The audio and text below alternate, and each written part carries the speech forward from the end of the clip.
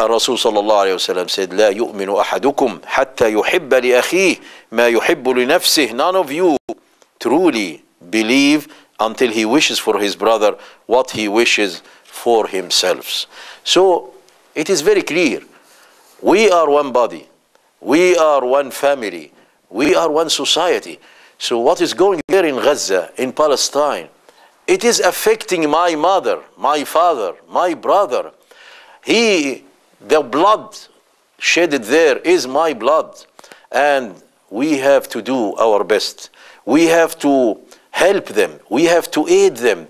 We have to struggle and strive for our brothers if we are muslimin if we are mu'minin if we are seeking the pleasure of Allah subhanahu wa ta'ala, Allah subhanahu wa ta'ala says, وَاعْتَصِمُوا بِحَبْلِ اللَّهِ جَمِيعًا وَلَا تَفَرَّقُوا And hold fast, all of you together, to the rope of Allah.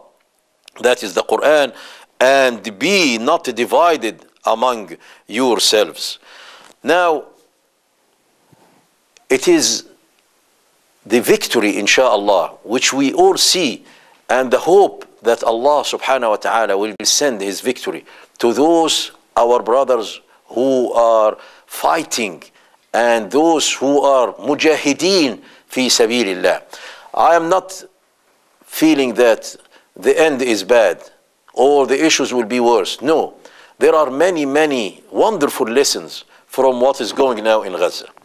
Number one, the people in Gaza and in Palestine, they made awareness of the unity of the Ummah. Look to the demonstrations and the Muslimin all over the world in areas which you never imagine. South Africa, in Australia, in America, in Brazil, in Venezuela, in Europe, in Africa. It is one nation and one ummah. And look in Turkey, millions are demonstrating Turkey, which is ruled by secular authorities. Look what is going on, as well as in the whole Arabic world. From Mauritania, Morocco, Algeria, Tunisia, Libya, Sudan, Egypt, and all the Arabs are now showing the unity of this ummah. The second thing is that the reality of the Zionists had been exposed. They are killing children. They are killing women. They are killing civilians. And they don't care. There is no mercy at all. And I want you to imagine that you are sitting in your home and then a missile comes destroying the whole building through F-16, through the Apache, through these new tanks, through the phosphoric bombing. They are killing without any mercy. They are killing our sons, our daughters. I think all of you have seen the funeral of the babies, the kids who were three years old, four, five, and their mother and their families. We all have seen what happened to the Sheikh Nizar, rahimahullah. He was killed with 13 of his family. They don't care. This propaganda of humanity, rights, freedom, it is all exposed now between the Western, the, those liars, and the Zionists of the Jews, which they are heartless and they don't care, and those who are carrying these propaganda of the civilized Western uh, uh, uh, people and culture. It is exposed. Again, the issue of Al Masjid Al Aqsa. This is a very holy place. أولى القبلتين وثالث الحرمين.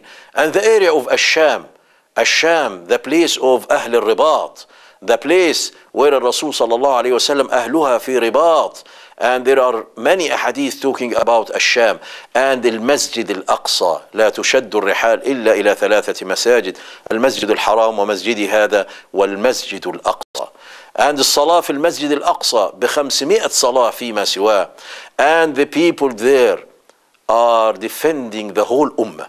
They are raising their voice. Ummatul islam is alive. We are not dead.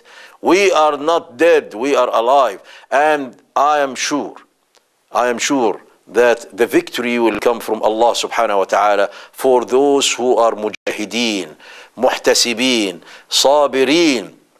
And inshallah the enemies and the allies will be defeated المسجد الأقصى again subhanahu wa ta'ala says in the Holy Quran سبحان الذي أسرى بعبده ليلا من المسجد الحرام الذي إلى المسجد الأقصى الذي باركنا حوله لنريه من آياتنا إنه هو السميع العليم. Glorified and exalted is he Allah. Above all that evil they associated with him who took his slave Muhammad sallallahu alayhi wasallam for a journey by night from al-Masjid al-Haram at Mecca to al-Masjid al-Aqsa in al-Quds Jerusalem.